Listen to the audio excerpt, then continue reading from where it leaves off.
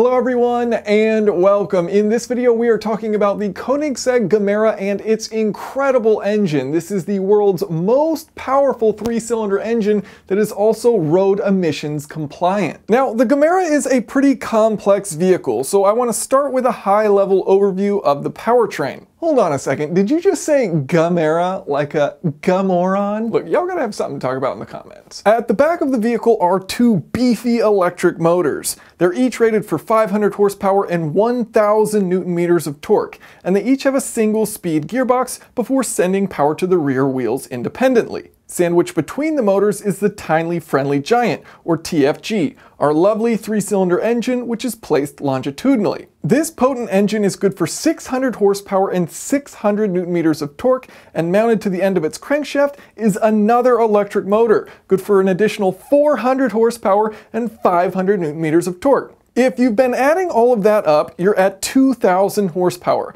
though the actual output is about 1,700 horsepower, as the battery has limits to how much power it can supply, and motors and engines make peak power at different times. Here's a plot of what those horsepower and torque curves look like. If you were to add up the three motors' horsepower, you'd get 1,400 horsepower, but due to the battery limitations, peak combined will be 1100 horsepower from the motors and then 600 from the engine. The engine and third motor actually send power to the front wheels exclusively, so this is Koenigsegg's first all-wheel drive model. Power is sent through a carbon fiber torque tube, then passes through a torque converter, and then through a simple ring and pinion to split power between the front wheels. On each side of the ring and pinion are wet multi-plate clutches, so either front axle can be completely locked up or detached, allowing for torque vectoring. With independent rear motors, the rear also has torque vectoring, and each motor has a wet clutch to detach completely, meaning for highway cruising, it can operate as front-wheel drive only for optimal efficiency. Powering all of the electric motors is a 16.6 kilowatt hour 800 volt battery pack. The pack is good for 50 kilometers or about 31 miles of electric only range and can be charged using the engine through regenerative braking or by plugging the car in. Total combined range is 1,000 kilometers or about 620 miles. Now, that's not nearly all of it, so we're going to get more into the overall layout later on in the video, but for now, let's focus on this incredibly impressive three-cylinder engine. Now, let's talk specs. This is a 2-liter inline three-cylinder engine, so the engine isn't very big and there aren't many cylinders. However, with a bore of 95 millimeters and a stroke of 93.5 millimeters, the cylinders themselves are actually quite large. In fact, if you're to compare it to Koenigsegg's 5-liter V8, these cylinders are actually larger. And so how does this thing make so much power, 600 horsepower, 600 newton meters? Well, some engines will make a lot of power through revving very high. Some engines will make a lot of power through a lot of boost. This is doing both. So it has 2 bar 29 psi of boost pressure and it revs to 8,500 RPM. So you can kind of think of it like a Honda S2000 engine, which was naturally aspirated, and tripling the amount of air that goes inside of that engine. So you can make 600 horsepower, 600 newton meters of torque. 300 horsepowers per liter, which Koenigsegg says is 2.5 times more than the next highest rated three-cylinder engine. This is the most powerful road-going 2-liter engine and it only weighs 70 kilograms. Now one of the other things I thought was pretty interesting when looking at these specifications is this has a stroke of 93.5 millimeters paired with a very high 8500 RPM redline and combined this is a bit unusual because that means the pistons are moving extremely quickly. Now we can calculate the average piston speed by taking 2, multiplying it by our stroke length, multiplying that by our RPM divided by 60. And so if you do that for this tiny friendly giant engine, what you get is 26.5 meters per second. Now that may not mean much to you, but if we compare it to the Honda S2000, which revved all the way to 9,000 RPM with a stroke of 84 millimeters, it has an average piston speed of 25.2. So this is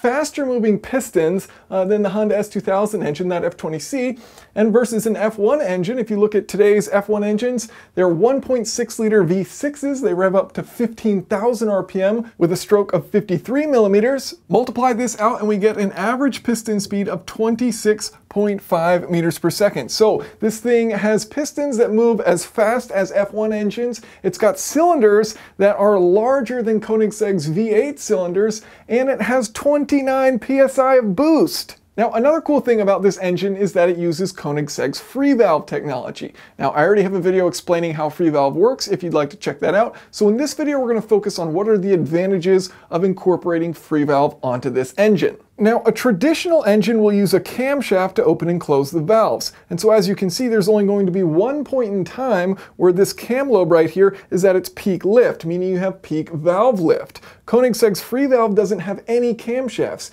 Instead, each individual valve has an actuator, so you can open it completely all the way, let it sit there, and then return it. And it does that using pneumatic actuators. So if you look at a plot of time versus valve lift, looking at a traditional engine, you'll see the valve lift follows that profile of the camshaft. However, with Koenigsegg's free valve, you pop straight up to maximum lift, and then you come right back down. So that means you can have more airflow actually coming into the engine and make more power. You've got less restriction for that air to come in. And also, you can choose between all these different methods of how you want to vary timing, lift, and duration. So with a traditional engine, you can of course vary that valve timing, so you're changing the exhaust valve and intake valve overlap. Same thing here with Koenigsegg's free valve. You can vary your valve lift, so there are plenty of engines. Some only choose between two profiles, some have infinitely uh, variable engines like BMW or Nissan. But with BMW or Nissan, when they change the valve lift, they are not independently changing it. So they're also changing valve duration. Whereas with the Koenigsegg, you can keep that duration the same and just alter how much lift you have. And then finally, with variable valve duration, of course, Hyundai's engine is capable of independently varying valve duration. However, Koenigsegg's also can independently vary valve duration while simultaneously independently varying valve lift. So Hyundai's engine could not vary valve lift. So this is going to be the first engine in which you have fully variable valve timing, fully variable valve lift, and fully variable valve duration. And so you can choose any of these points at any given RPM, any given load, what you're going for, whether it's efficiency or whether it's power or whether it's emissions you can optimize all three of these among other parameters and choose the best spot for whatever you're targeting. So you have an immense amount of flexibility with this engine. Some other advantages, you can choose between just using one or two valves to open up. So you could just have one intake valve open and create some swirl or some tumble within that cylinder. You could choose to have both for better airflow. You can implement cylinder deactivation really easily because all you do is you just don't open the valves. You don't need a throttle uh, with with this engine, you can use valve lift in order to throttle the engine for low loads or high loads, and so that improves efficiency. And again, just having all of this control means that you can optimize for whatever you're looking for. Now, there are of course some drawbacks to this system, the obvious ones being cost and complexity. This is an extremely expensive car, so don't look at this and be like, wow, none of the other manufacturers know what they're doing because Koenigsegg can get 600 horsepower out of a 2-liter engine so could they. They would just charge a lot more for their cars. This, you know, is a million plus dollar car. So uh, cost comes with these added cool features. Uh, and then from an energy standpoint, it actually does seem like a fairly energy intense system because it's electronic, it's hydraulic, and it's pneumatic. So you have an air compressor on board as well in order to power opening and closing these valves. A traditional spring will return the valve, but air pressure will set it down to its lift. Now, partially possible because of free valve, this is actually a twin turbocharged engine. You might be wondering, wait a minute, it has three cylinders and two turbochargers. How do you split those cylinders between the two turbochargers? So let's look at the layout. And so here you can see the three cylinders and you have your individually split exhaust for each cylinder. So it has two exhaust valves and each exhaust valve routes to a different turbocharger. So for example, your air would come in through this compressor side of the turbocharger, travel through the air to water intercooler, enter the engine. At low RPM, we're only going to be going through this red exhaust right here. The free valve is going to keep this second exhaust valve closed, so all of your exhaust is just going out one exhaust valve, and that's all being routed to just one turbocharger. Then as you start to increase RPM, you open up both exhaust valves and you spool up both turbochargers and you make peak power. So at low RPM, when it's just using this single turbocharger, by closing off that exhaust valve, it's able to spool up peak spool at 1700 RPM.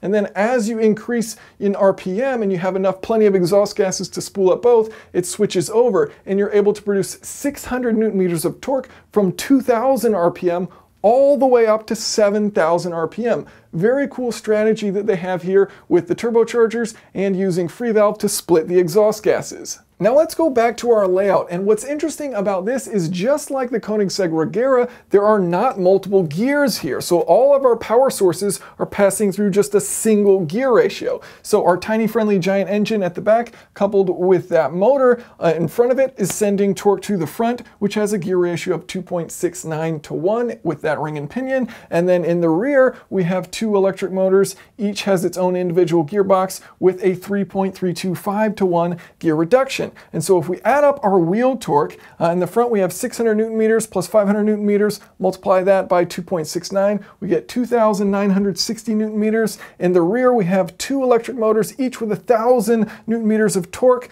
multiply that by 3.325, and we get 6,650. So we combine have 9,610 newton meters. Now Koenigsegg says the actual wheel torque peaks at 11,000 newton meters. So where does that come from? Well, through this hydraulic coupling. So Koenigsegg says with this hydraulic coupling, you can have up to two times torque multiplication up to 3,000 RPM. And then it'll lock up and be more efficient once you reach higher speeds. So that's how they're able to increase their peak wheel torque up to 11,000 newton meters. Now, one of the things you may have noticed is that these gear ratios are fairly low. So why would they choose a fairly low gear ratio? Well, if you're to compare it to a traditional vehicle, these may be about a third or a fourth. However, this is allowing for still crazy high wheel torque and yet a very high top speed. So this vehicle has a top speed of 400 kilometers per hour or 250 miles per hour. I was curious, so I did the math on multiplying out uh, based on the wheel size and the gear ratios, what the front and rear would actually achieve. And it's something like 260 miles per hour if you assume no tire deformation. And of course, with a little bit of tire deflection, that's gonna come down to its top speed of about 200 50 miles per hour. So it is geared so that it has an insane acceleration to 60 miles per hour or 100 kilometers per hour. Koenig Koenigsegg says it's good for 1.9 seconds, 0 to 100 kilometers per hour, which if you actually believe means its average acceleration is 1.49 Gs, something we have not yet seen in a production car. So it'll be interesting to see what it actually achieves. And this is good for all the way up to 250 miles per hour, where it's basically gear limited to that speed. So it's got insane acceleration uh, that entire way uh, and has that crazy high top speed. So quite a cool vehicle, quite a cool engine that has gone into it. Of course, all at a very expensive price, but a very neat thing nonetheless. So thank you all so much for watching, and if you have any questions or comments, of course, feel free to leave them below.